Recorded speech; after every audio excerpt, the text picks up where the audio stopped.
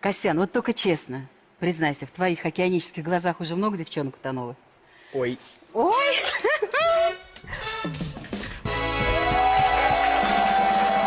Добрый вечер. Я Лариса Гузеева в эфире «Давай поженимся».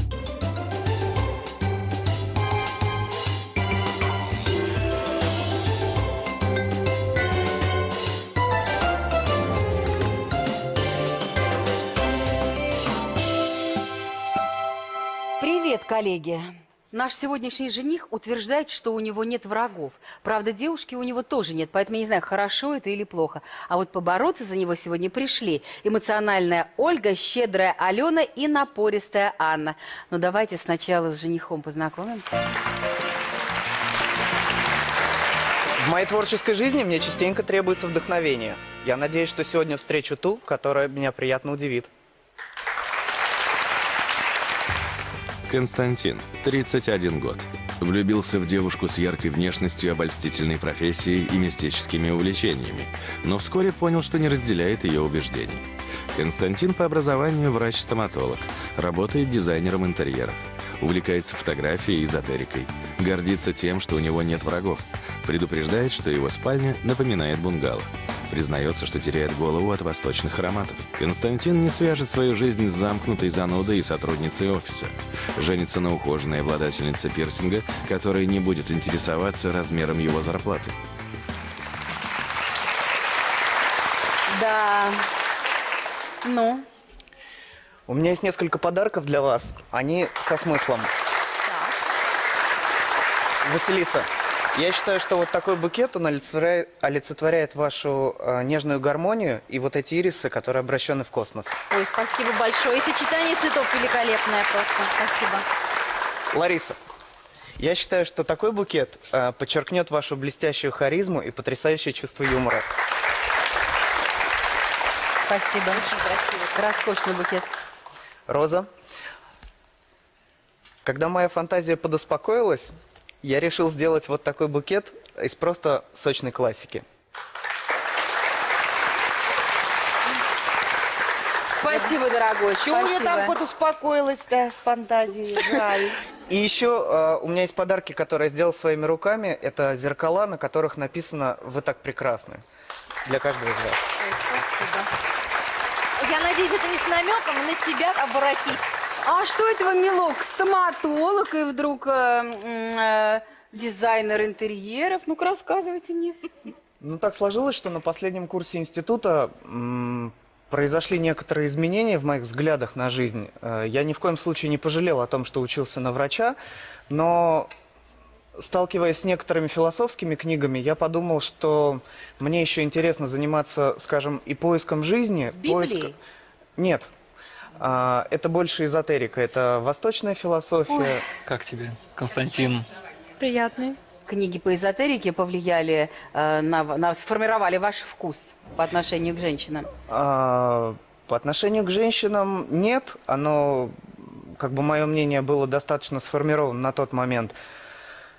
Просто я решил уйти в сферу дизайна, занимался интерьерами, до этого я занимался скульптурой, разным прикладным творчеством. Мне было Да интересно не, я это хочу все-таки поближе к тому, что вы являетесь эм, не тайным, а явным эротоманом. Вот нравятся Ой-ой-ой. вам девушки, притом с экзотической внешностью и с, а, не знаю, уж экзотическая это, м, так сказать, профессия стриптизерши или нет, но тянет вас на девушек вот этого А, круга. У меня было одно знакомство с такой девушкой. А, Мы познакомились в Крыму на пляже. Это была мулатка. а, За ней мужчины ходили толпами. Так случайно получилось, что... Она выбрала вас. Да, причем я вел себя крайне скромно на фоне тех назойливых ребят, которые стояли в очереди. Видимо, это сыграло какую-то решающую роль. Слушай, у него очень приятная улыбка. Доброе. Добрая. Я пытаюсь пока понять, я еще вот... Нет ощущения, что у него камень за пазухой. Я вот Да. про что. На Открытый. экзотически, говорит тень. И э, у вас не завязался роман? Да, к сожалению, на море нам оставалось э, пребывать дня три. Я отдыхал с другом. А, ну, вот вечера мы проводили вместе. Она еще была ну и есть специалистом по массажу, и наши вечера складывались достаточно романтично. Я тогда Она вам еще... на- массаж бесплатно делала, да? Да, бесплатный. И как вы ее застали, делающей массаж другим дяденькам? Ой, это случилось уже, когда наши отношения продолжились в Москве. Ну, однажды, да, была такая ситуация. Звоню ей и говорю, «Э, я так по тебе соскучился. Она там скрипящим утренним голосом, ой, дорогой, там, давай увидимся днем. Я говорю, ну ты знаешь, я настолько сильно соскучился, что мне нужно увидеть тебя прямо сейчас. И я уже у дверей. Я говорю, открывай. Ну вот, она открывает, э, ну проходи. Ну, конечно, стоят там мужские кроссовки, э, разбросано нижнее белье. В общем, ты не подумай. Ты примерно с этих дней э, ко мне уже окончательно пришло решение, что отношениями я для себя это назвать серьезными не могу. Я готов расставаться. Ну, это она его не ставила всерьез. А вы мужчин стали искать? А Чьи зачем? кроссовки-то с А трусами? он в соседней комнате Сегодня спал. один мужчина, Он разве другой виноват? Он принес свои деньги. Зачем? Он, он при чем здесь? Да, это было бесплатно и неважно, я думаю. Нет, важно А- то, что она потом вам призналась, что беременна от вас. Да, э, буквально вот когда я принял решение расставаться, у нее там плохое самочувствие, мы уже созванивались один раз в несколько дней, и после этого она мне сообщает, что у нее бере- беременность поставили, и она приняла решение, что она точно будет рожать, независимо от моего решения. Здравствуйте. Значит, у него ребенок есть? Да, видимо, да. Ребенок подрастет, захочет узнать, кто его отец. Э, Вы знаете, я думаю, что она ему уже говорит, что я его папа, мы видимся несколько раз в год. Они живут в коммунальной квартире, где в соседней комнате проживает семья, у которых нет ребенка. И она, скажем так, Соседи ей помогают. соседи ей помогают, да. Воспитывают. Да. Я не мужчина. Интересно. Ну, мама пока на заработках. Значит, если это ребенок ваш, и он сейчас живет в таких ужасных условиях, а вашего ребенка воспитывают соседи, а у вас мама с папой знают об этом ребенке? Да. И что они говорят, они видели его? Вживую не видели, однажды на передаче видели, но они предпочли остаться тем более безучастным, чем безучастным остался я на тот момент. То есть я принял решение, что я не буду изображать из себя заботу, которую я не могу дать, и на тот момент не готов и не хочу. То есть я сознательно принял решение не участия внутри той семьи. На Значит, а, страсти страстями, а ответственность...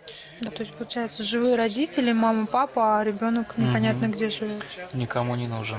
А вы были женаты еще, да? Да. До... Да, после этого у меня было... А после этого? Да. Так сколько же вашему ребенку сейчас? А, ну, в смысле, после Антоники у меня появились отношения с девушкой, с которой мы очень сильно друг в друга влюбились. И э, Поженились. с первых дней, да, жили вместе. Спустя 9 месяцев мы поженились. А, прекрасно жили. Потом у нас родился малыш. А у вас А, еще ребенок. Да, у меня есть сын. а, мы назвали его Ларго. Ему сейчас... А почему Ларго? Что Ларго. за имя? Как ну- корабль, что ли? Или как лодка? Нет. Нет. Это арго корабля. Ларго это медленно по-итальянски. Ну, это медленно по-итальянски, это испанское имя. На самом деле это экзотическое решение пришло не вот так Ларго вот прям. Константинович? Да. Да, любит он экзотику. Везде это прослеживается. А что с женой, с этой... а, она русская? Да. Русская Да. женщина, которая назвала... Она согласилась так назвать. Я вначале предлагал э, русские имена, но ответы были такими, что ой, нет, там Кирилл не нравится, Никита не подходит, там с этим ассоциации другие. И, в общем, я предлагал, предлагал, говорю, хорошо, предлагайте вы. А у нас идей нет. Дело в том, что нам очень понравился фильм «Ларго Винч», э, главный герой, которого звали Ларго. Ну, понятно. И мы- Хорошо, что не в честь какой-нибудь компьютерной игры. Обошлось. Ну да. А, скажите, Константин, а так вы были официально женаты на этой? да. А вы с ней-то почему не вместе? Что случилось? А, После рождения ребенка э, как-то у нас перестроилось внутри семьи, э, скажем, мы поменялись ролями. То есть э, я, у меня был творческий провал э, в работе, соответственно, финансовый. Ну, в общем, как-то я, мне трудно объяснить сейчас последовательно, но мы поменялись ролями. В общем, я больше занимался по хозяйству в итоге, а она... Костя, про какое вы творчество сейчас, извините? Вы врач-стоматолог по профессии, да? Да, А не стали работать врачом? Да. А сейчас вы работаете, как, как, как ваша называется специальность? фотограф и дизайнер. А, фотограф и дизайнер. И у вас э, начались простои. Да. Вы не стали зарабатывать деньги, и у нее появились к вам претензии. Ну да, это все перерастало во взаимные. То есть меня не устраивал там бардак или неприготовленная еда или что-то еще. Ее не устраивало то, что я не зарабатываю. Не готова к этому. Ну да, ответственность, финансовые трудности. Да. Нужно же содержать. И вот вы хотите сейчас девушку. Хорошо бы, чтобы у нее был пирсинг, чтобы она зажигала. Это вы-то в 31 год. Вы знаете, хотите такую же э, яркую, да, не обремененную А никакими самое заботами. главное, чтобы не легкую. интересовалась размером зарплаты. Вот этот пункт меня поразил в самое сердце. Дело не в том, что девушки меркантильные и интересуются как следствие размером зарплаты. Ведь вы поймите, что это тоже важная информация о мужчине. Например, если я понимаю, что кавалер, ну, скажем, не очень богат, я не буду просить его вести меня в какие-то места, я буду скромнее, я буду, соответственно, себя вести, соответственно, ситуации. Это же важная информация для а вам женщины. нужна девушка яркая, самостоятельная, красивая, модная. У вас двое детей на сегодняшний день, э, то есть алименты. Официальных алиментов на мне не лежит. Ой, ну, милый, это еще еще, конечно. Ну, Нет, вы же это еще человек будет. А чисти. и еще Да. спальня у него как бунгало. Это в смысле с намеком, что Смила Мараев в шалаше? Возможно, но Если я вижу, что человек не может себе это позволить, я не ставлю в неловкую ситуацию и не веду куда-то. Ой, я вот сижу и думаю, ну, мужчина все-таки, если у него зарплаты нет, ну, как-то его надо за что-то другое уважать, в общем-то.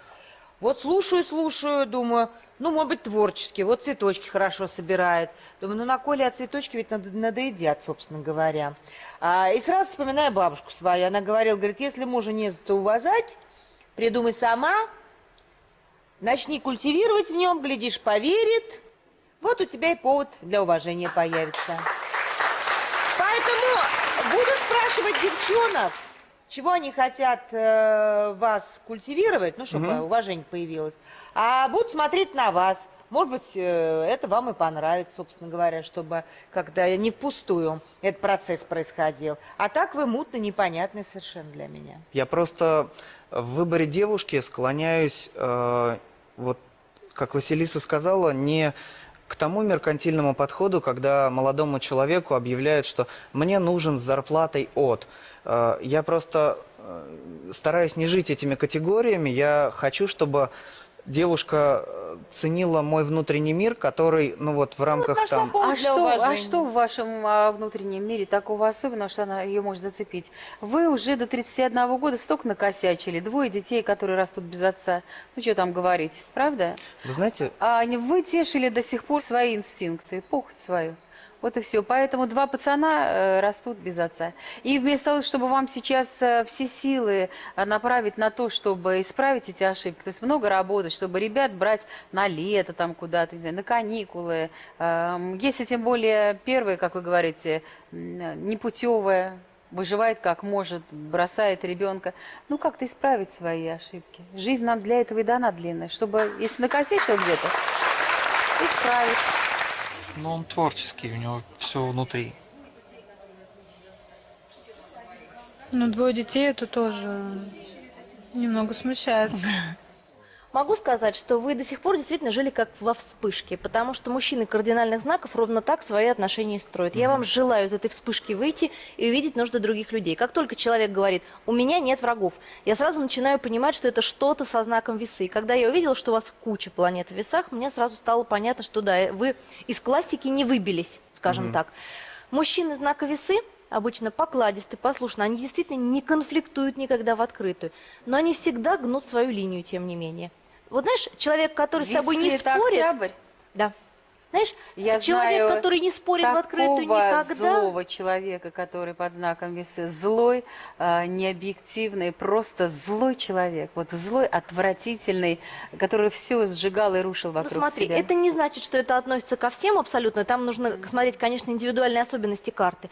Но вот когда у человека ярко выражен этот знак, как у нашего героя, это всегда дает такое некое соглашательство для вида. Я абсолютно уверена, что Константин будет с нами сегодня соглашаться, не спорить в открытую. Он будет делать вид, что он принимает нашу позицию. Но в конечном итоге все равно поступит по-своему. Поэтому нам остается только наблюдать за происходящим. Совершенно верно.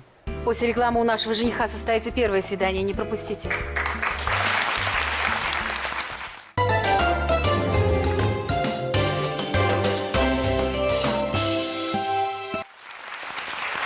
В эфире «Давай поженимся» у нас в гостях Константин. Встречайте первую невесту.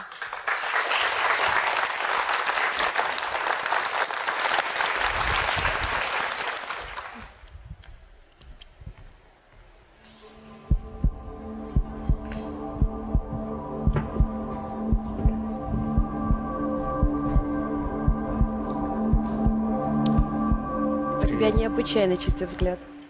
Я надеюсь, что он меня не обманет. Спасибо большое. Это же это тебе. Спасибо большое.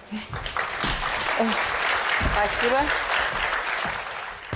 Ольга, 25 лет. Фотограф, хореограф, визажист.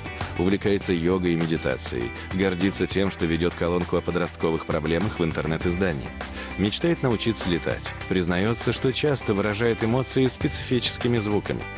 Ольга во всем поддерживала возлюбленного, поднимала его самооценку и даже отправила на тренинг личностного роста, но в конечном итоге оказалась недостойной такого завидного жениха. Надеется, что Константин оценит ее поддержку.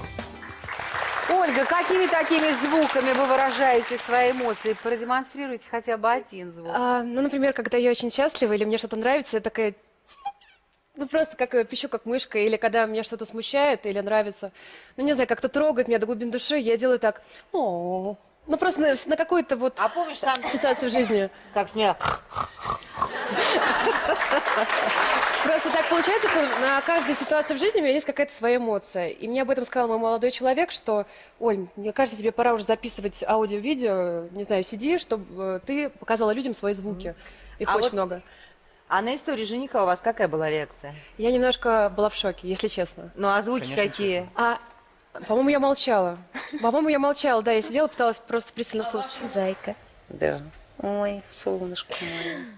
А ваш молодой человек тоже издавал в ответ такие же звуки? Да, он издавал очень много звуков, потому что он был перкуссионистом. Если вы знаете, перкуссионист это, Это человек, который... инструмент. Да, он играет на всех видах э, барабанов, кроме ударных.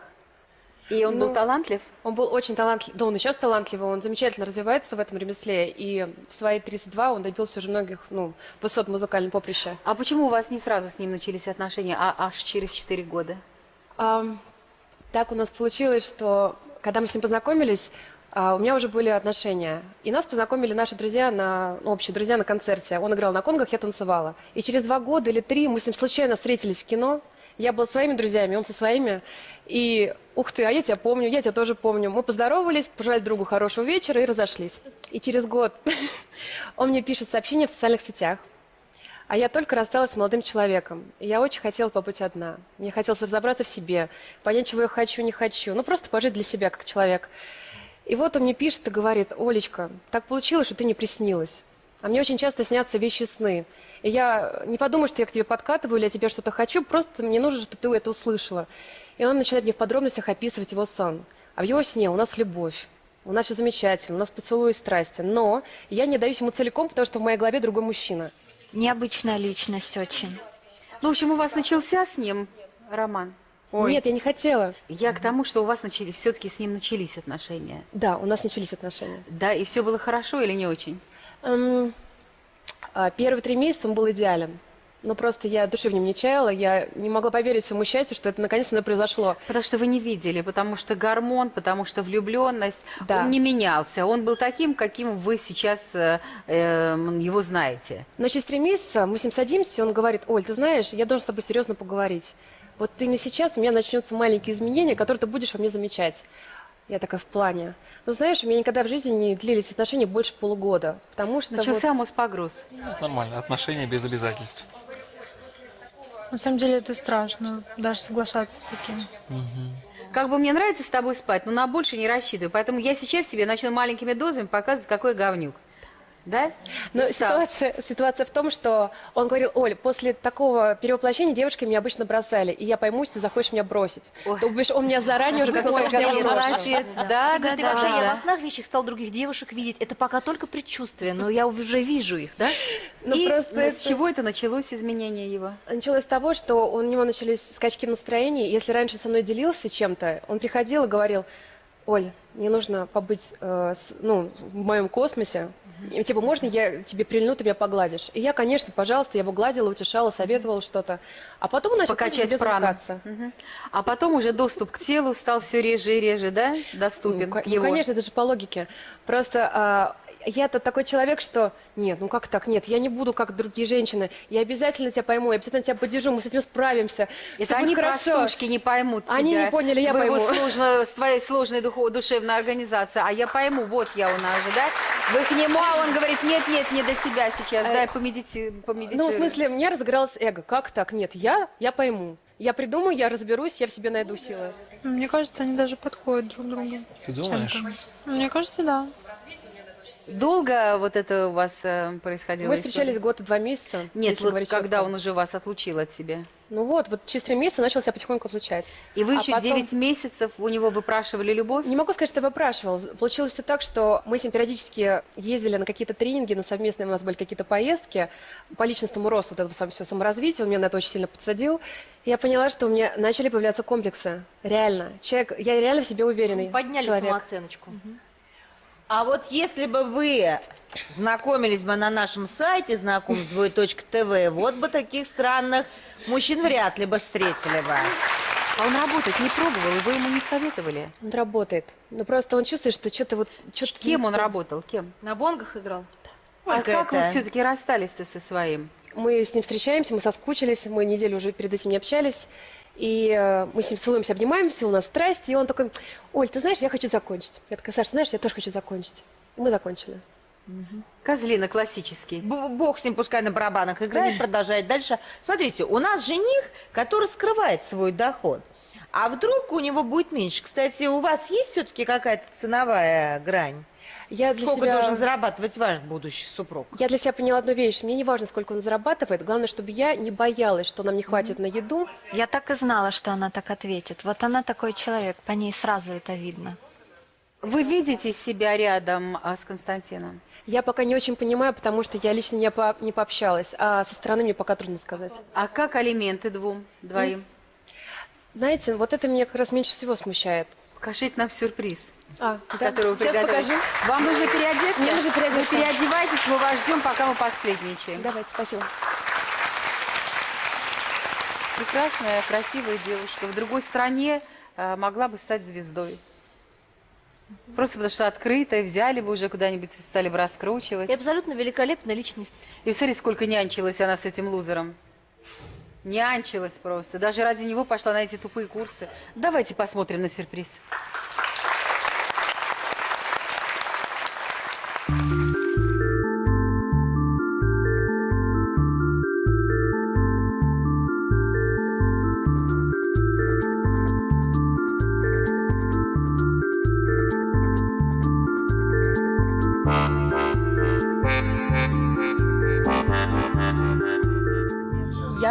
умею. пластичная. Ну ладно, ты умеешь лучше.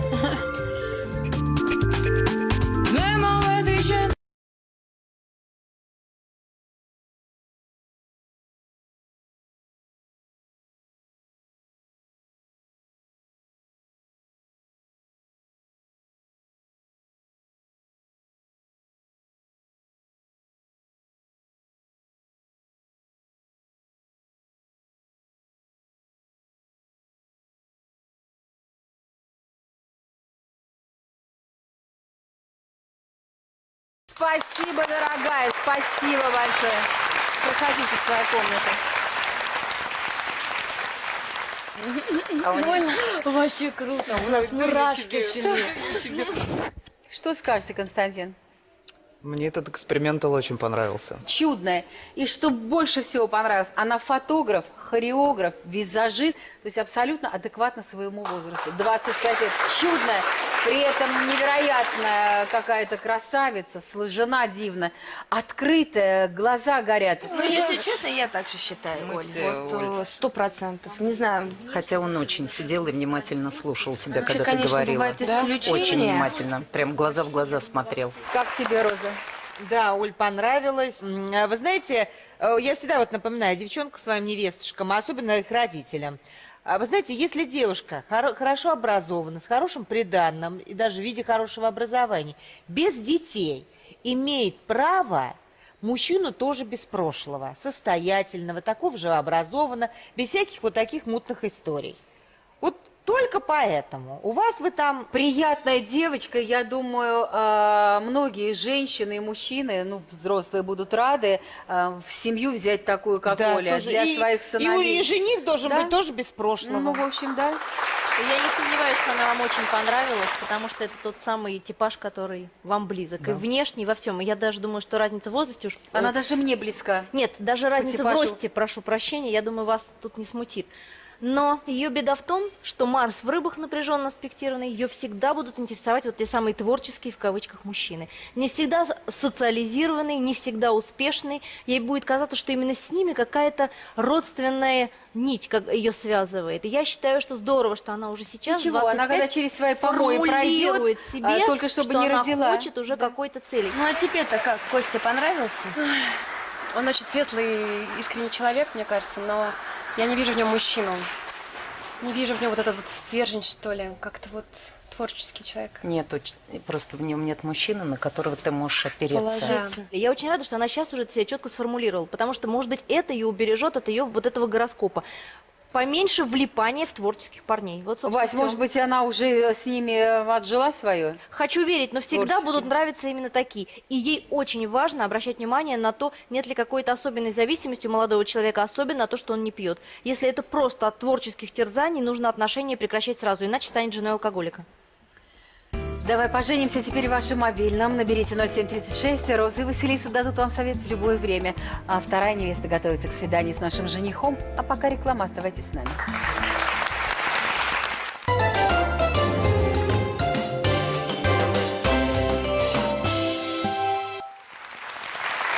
В эфире «Давай поженимся» у нас в студии Константин. Встречайте вторую невесту.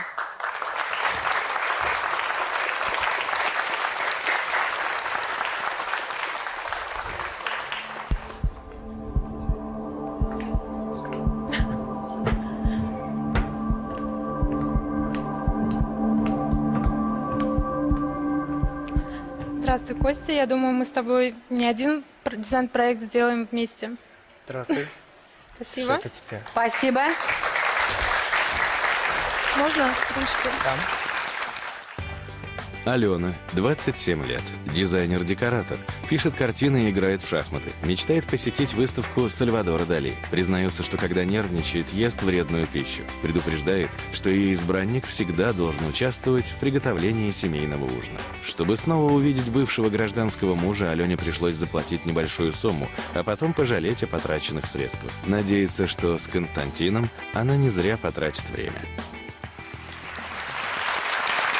А почему нужно было за деньги покупать свидание с ним? А без денег он бы не А. пошел на контакт? Дело в том, что была такая ситуация, что он работал а, в таком месте, где, к сожалению, общение с мужчинами а, только за деньги. Стриптизер, что ли? Да, Вы из Оренбурга, да, землячка. да. А, и вы познакомились в Оренбурге, да? Да, мы познакомились в Оренбурге. А, так скажем, это был один из самых завидных женихов в городе. Красавец, спортсмен. И мы очень часто сталкивались в городе, но не были знакомы. И так получилось, что столкнулись в общественном транспорте, улыбнулись друг другу. Бывший э, ее любимый стриптизер.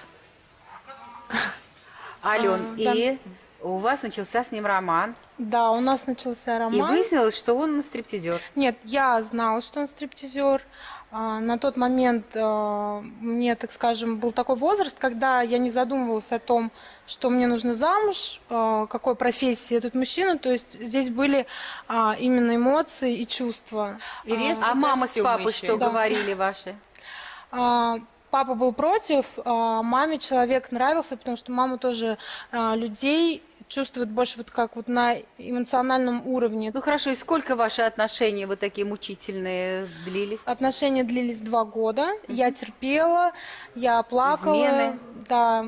Я измен никогда не замечала. Я никогда не видела сообщений, я никогда Тогда плакали, почему? Я плакала, потому что я по своей натуре собственник. Ой, история сумасшедшая просто история. Не знаю, смог ли я бы ее прожить и пережить столько времени, сколько прожила ее Алена. Хорошо. И вот э, когда он понял, что в Оренбурге уже все поле распахало, ему нужно осваивать новые территории, он уехал в Москву. Ну, практически да, наверное, так. Вы с ним расстались? Наши отношения завершились до того, как он уехал, и это было, я как считаю, что основной из причин, почему он так резко сбежал сюда, а, потому что его уже там ничего не держало. И здесь друзья при- привлекли а, какими-то новыми вариантами. Она красивая, но она непростая. Ну, я с вами Что-то в не ней- согласна. Что-то в Мне ней не есть. И вот вы следом за ним едете в Москву. Да, я поехала в Москву, меня пригласили друзья по работе, и одной из э, целей было, конечно, найти И он работал в это его. время в известном клубе стриптизером. Да. И вы с э, сердцем, которое выпрыгивало из груди, приходите в Очень этот клуб. выпрыгивала, да, нарядилась, пришла в клуб, хотела просто увидеть. Мне сказали, что он находится в Ну, не просто увидеть, вы хотели чего-то от него. Я хотела... Потому что чувства еще... Да, я хотела увидеть, чувства были, я хотела понять, почему он уехал, не попрощался. А, Мне это было очень важно. Что-то он заскучал по его лицу, видно. И вот вы а, уже с дрожащими руками, с выпрыгивающим сердцем изо рта э, дожидаетесь, он к вам подходит да, со я, его- спины, не я его ждала узнает у вас. бара, он подошел меня, со спины, конечно, не узнал, подошел меня узнал, обнял, при- ну, там вот под- танце. да, в- практически в танце, да. Он был Вы рад, я видела по его и глазам, что он был рад мне. Он сел рядом, мы поговорили с ним, и через буквально 10 минут я поняла, что человек абсолютно не тот, что, что был. Это не мой человек. Он, Москва его съела. Все, вы распрощались, и это было ваше последнее свидание, да? Да, это было последнее свидание. Если э, не брать в учет, что с ним все нормально и он ни во что не затянут, то, конечно, он отреагирует, я думаю, на мои уловочки, заманушки. Скажите, Константин красавчик на ваш вкус? Да. Нравится ваш тип? Внешне, да, нравится. Скажите, а какие требования у вас к мужчине? А в Почему перв- вам 27 лет, вам уже нужно думать о замужестве, о детях, правильно? Да, конечно. Вы и так Мне- по оренбургским меркам уже задержались в девках. По оренбургским, наверное, да. Но для меня важно, чтобы человек, с человеком были какие-то общие цели. Это у очень нас важно. общие, у нас даже все общее. А, я имею, ну, даже да. в, а, Дети не смущают? Двое? Ну, если честно, меня не смущает наличие детей, меня смущает отношение Кости к детям. Вы приготовили какой-то сюрприз? Да. Покажете? Да, конечно.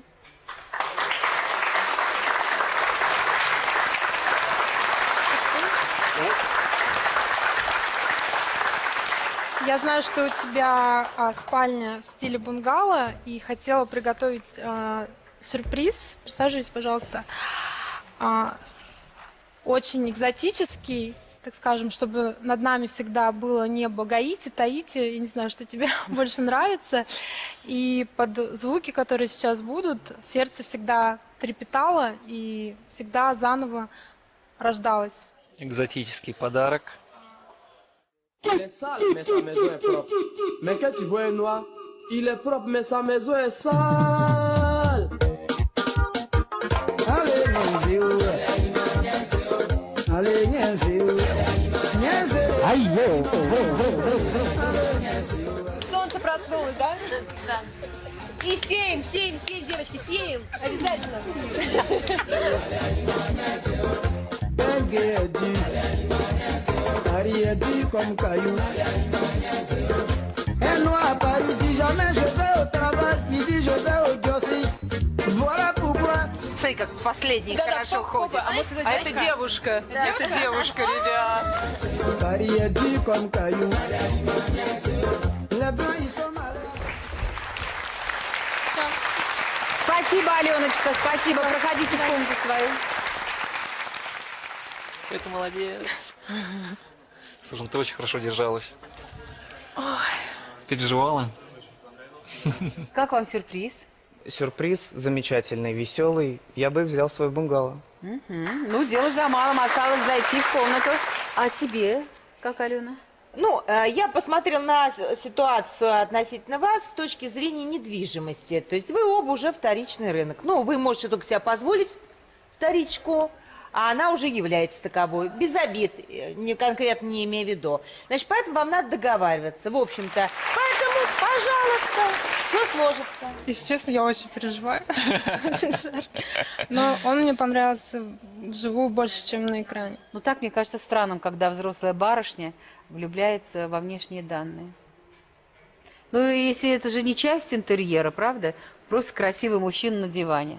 Причем она явно не изголодавшаяся по мужскому вниманию, потому что сама очень хороша собой. Я провела целый анализ. И я поняла, что гороскопически любительницы стриптиза мужского – это женщины с огненным Марсом, часто с львиным Марсом.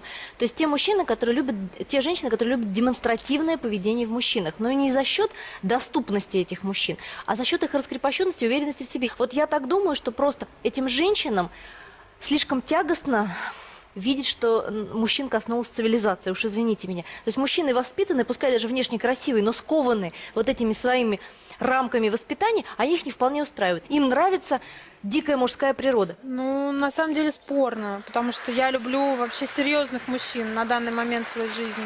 Константин, будете знакомиться с третьей невестой? Да. Тогда проходите.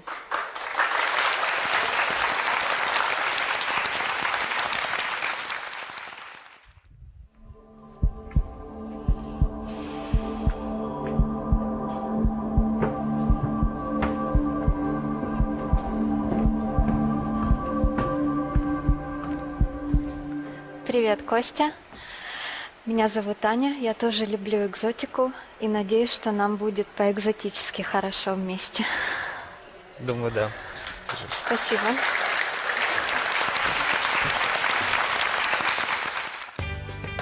Анна, 30 лет. Частный предприниматель в сфере рукоделия. Мечтает увидеть северное сияние, признается, что интимная жизнь имеет для нее особое значение. Узнав, что беременна от возлюбленного иностранца, Анна настояла на свадьбе, но вскоре поняла, что поторопилась. Надеется, что между ней и Константином не возникнет языкового барьера. Здравствуйте, Анна. Здравствуйте. А, любители экзотики. Да. А что в вашей жизни было? А, ну, в моей жизни произошло так, что я поехала отдыхать э, к своей подруге в Таиланд. Она там... э, И жи- влюбились в тайца? Нет, она там э, живет со своим мужем, израильтянином, и к ее мужу пришли все его друзья, и когда я увидела его среди всех его друзей, а, как он начал нырять Мулат? в бассейн, да, он э, с темнокожей, он израильтянин. И когда я у своей подруги спросила, есть ли у него девушка, он- она говорит да. Ну и я так сразу подумала, Мой будет. может быть, у меня есть шанс. Ой, слушай, я прям на Анечку любуюсь, сижу, смотрю. Они поссорились. Она уехала на соседний остров, и я сразу же взяла инициативу в свои руки и говорю, покажи мне, пожалуйста, остров. И мы поехали, он мне показывал остров. А, у нас все очень бурно и страстно началось. Ну, смотри, тоже, в принципе, Увела. инициативная. Да, М. взяла и увела. И, потом я возвращаюсь в Москву, И понимаете, я что узнаю, беременная? что я беременная. Он да. обрадовался? Да, он очень обрадовался по скайпу. Он э, вначале он был в растерянности, он не мог понять, как это могло произойти. Но Вы потом... предохранялись. Нет. Вот современные мужчины радуются отцовству по скайпу, да?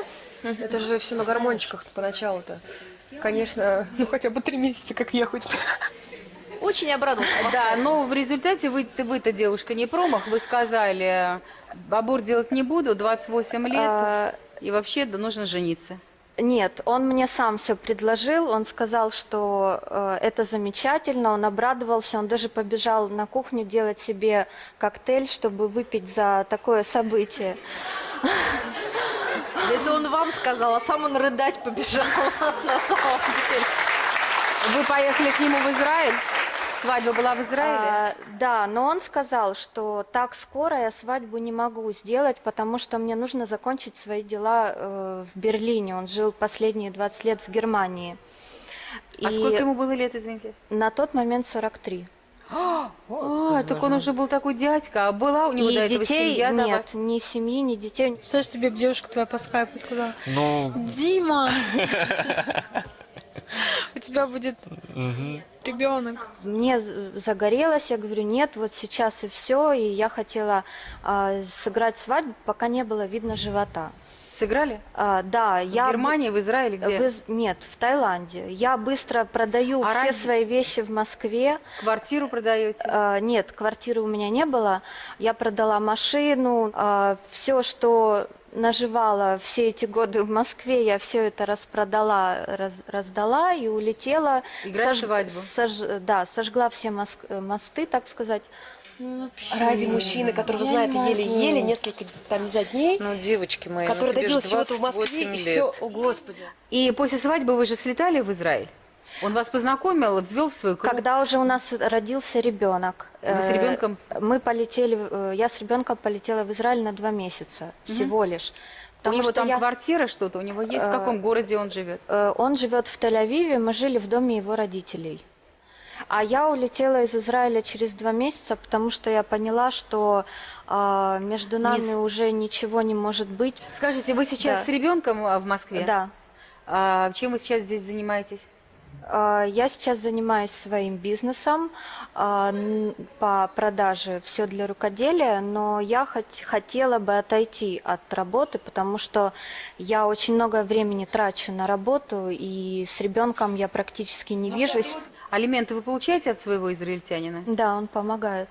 Э, Хорошо помогает? Нет, не очень. Просто не оправдались ваши ожидания, э, когда а, у вас была сверхзадача увести его у этой русской, которая вам не нравилась. Вы же говорите, что вы можете там машину поцарапать сопернице Да. э, и так далее, и так далее, да? А у вас была конкретная задача. Потом была конкретная задача быстро его на себе женить. Неважно, что у него не было возможности. И когда вы все это получили, вам, вы, наверное, заскучали. Может, Обычная может, жизнь. денег не было. И это тоже. А у нашего тоже нет. Она с ребенком, он с ребенком. По-моему, все идеально, ребят. Ну, Он с он с двумя. двумя, он с двумя ребенками. Слушай, уже многодетная Кстати, семья. все время там, да. То есть вы рассчитывали на него как надежного кормильца будущего? То есть почему вы вообще допустили тогда это? Если для вас это важно, ну, чтобы мужчина обеспечил, чтобы вы Ну, чувствовали себя уверенно. наверное, пыль в 28 глаза лет. пускал, красиво ухаживал, красиво говорил. Э, Нет, он даже еще не успел пыль в глаза мне пустить, я просто влюбилась. я Секс ничего. нужен, важен, оно каждый день, понимаешь, как неуемная. А у вас сюрприз готов? Да, Покажете? да.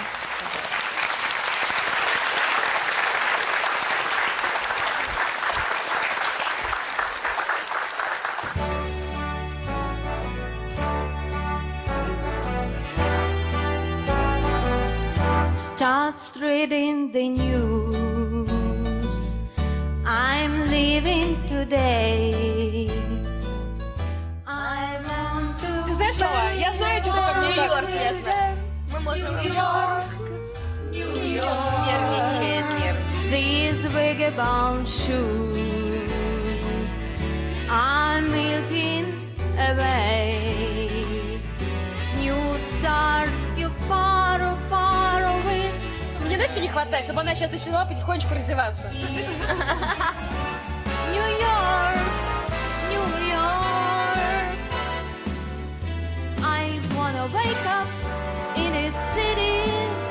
Never sleeps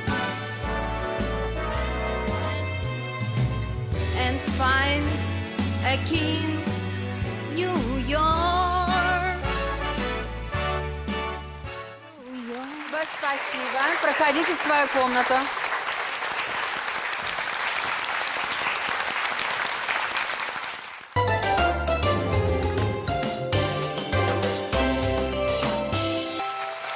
Константин, что скажете?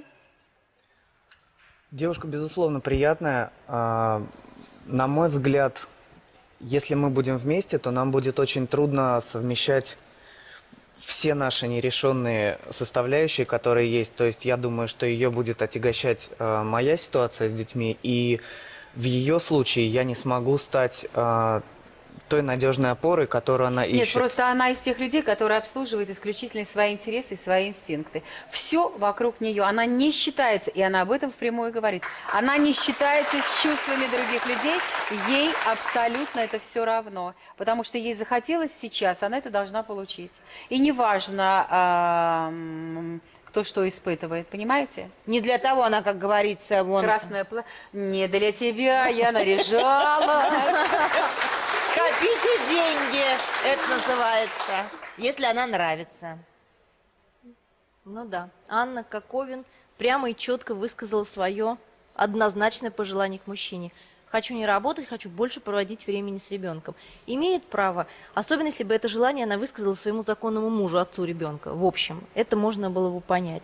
Я уверена абсолютно, что при любом напоре, что при любом желании со стороны женщины за 10 дней отношения, конечно, не строятся. И даже если это случайная беременность, Возникает в 28 лет много вопросов, почему она возникла, как. И я думаю, что эти вопросы Анне нужно задать прежде всего самой себе. Роза. Я в начале программы сказала по поводу того, что э, нужен повод для уважения, в общем-то, и тогда у вас будет все складываться. Вот я подумала, у Ольги вля- вряд ли, э, Ольга вряд ли найдет повод для уважения, но если только что-то мистическое, вы там вроде что-то какой-то эзотерикой там мучаетесь, ну и она. Но, в принципе, мне кажется, она уже так прозрела, а все во всем остальном вроде как нет. И у Анны вы тоже уважения особо не, не вызовете, денег у вас по сути, нет столько. А вот с Аленочкой уважение, не уважение, а договорчик-то хороший может состояться. И, кстати, эм, э, браки по расчету очень даже долговечны. К тебе не пускают. Ко мне не пускают. Вот так И вот, мы вот не так вот. пустим. Хочу мужика.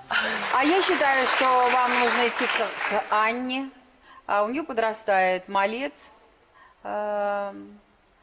И вы можете искупить ну, какие-то свои грехи, свои промахи в жизни, помочь ей воспитать пацана. Почему нет? Вы знаете, я считаю, что в моей э, истории это не будет вариантом искупления моих грехов э, с теми детьми, с которыми я сейчас не живу. Нет, И- а по- по- по- потихонечку будут подтягиваться и ваши детки. Но мне кажется, с Анной было бы неплохо. И возраст у вас подходит. И э, вы много наделали глупостей, потому что думали не головой, а другим местом. И она, и вы. Понимаете, вы очень похожи. Вы очень похожи. Я не знаю, я очень сильно волнуюсь, я давно так не волновалась. Я не, мог, я не могу понять э, свои ощущения и свои чувства. А ты что скажешь, Василиса? Я бы хотела примешать человеческой, человеческие эмоции к э, своему выбору, но, к сожалению, не имею права это делать. Астрологически вам действительно больше подходит Ольга, и я могу рекомендовать только ее с точки зрения какой-то возможности. Но мне бы по-человечески ей хотелось бы другого будущего. Поэтому, пожалуйста, подумайте пока минутку, а я постараюсь и ответить на ваш внутренний вопрос, ну и на вопрос всех присутствующих здесь в студии, наших зрителей с помощью карт Таро. Пожалуйста, задумайте ту тему или тот вопрос, который вас сейчас тревожит, а я вытащу одну карту из этого чудесного Таро, одно из самых красивых Таро в мире, одна из самых красивых колод, которые уже перестали выпускать. Итак, задумайте, пожалуйста, вопрос, а я вытаскиваю одну карту. Да. Это карта шестерка кубков, и она соответствует сказке братьев Грим чудесной Гензель и Гретель. Я думаю, что эту сказку все помнят. И эта карта нам подсказывает, что прежде всего в вопросе загаданном нужно обратиться к старому опыту, вспомнить свои детские или какие-то первые ранние переживания, воспоминания, то, что тревожило вас давно. Карта призывает Как быть точно. открытым, чистым, по-детски восприимчивым к ситуации, и тогда можно решить ее. Карта также говорит, задумайтесь, вы вообще хотите быть беспомощной жертвой и попасться ведьме в лапы, или все-таки напрячься и справиться с ситуацией? Ну и тем, кто задумал вопрос о своих детях, карта дает, во-первых, положительный ответ, а во-вторых, Спасибо, Ларис. Спасибо Вот. тебе. А во-вторых, кстати, эта карта обещает возможную беременность и скорое рождение детей тем, кто тоже задумал об этом вопрос. Вот сколько у вас было времени-то подумать, в какую из комнат пойти. Проходите, мы вас поддержим в любом случае. Спасибо. Выражайте симпатию нашим будущим героям. Отправляйте смс с их номером по телефону 4151. Кирилл, 25 лет, номер 3453. Диджей и ведущий. Занимается экстремальными видами спорта, увлекается психологией, мечтает научиться кататься на серфинге. Ищет спортивную брюнетку до 25 лет с правильными жизненными ориентирами. Константин, 46 лет, номер 3454. Графический дизайнер, писатель. Посетил 55 стран мира. Участвует в волонтерском движении помощи нуждающимся. Познакомится со скромной и воспитанной девушкой, способной родить ему троих детей. Мы не знаем, выйдет Константин один или с избранницей. Я приглашаю всех выйти и поддержать его.